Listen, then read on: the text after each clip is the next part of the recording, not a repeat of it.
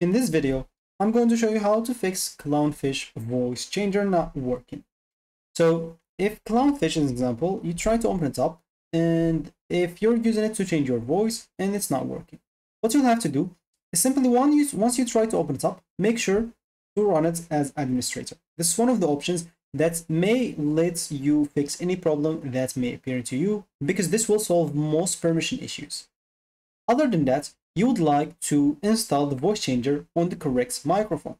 So as example, you install voice changer and it will be opened here in the hidden icons. You can just go and right click on it, on setup, click on setup and system integration.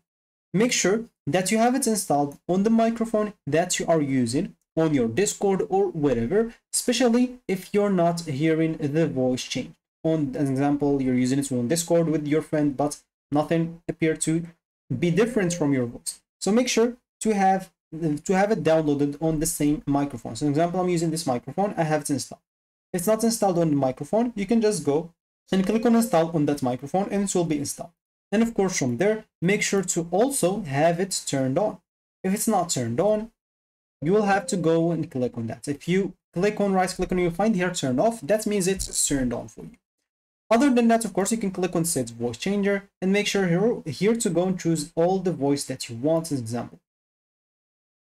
So other than that, you would like also to set up your mic as default. So you can go and open, as example, your control panel and make sure to go and look for sound. Simply go and click on that sound. And in here, you'll have to go and click on recording and simply just set the microphone that you have the voice change on as default. So an example for me, already have this as default. You can go and set up other stuff as default. For you, just go and right click on your mic and set this as default. And the last option that mm, will work for you definitely if it's not working is simply go and open your settings go to the applications go to installed apps and simply go and look for the clownfish voice changer. Just go and install it and go and install it back as example on any like browser that you have. And this should definitely check or fix your problem to download, of course, you'll need to download like the latest version. So click on download and you'll be able to download this very easy. So that should be it for me in this video. Thank you for watching and goodbye.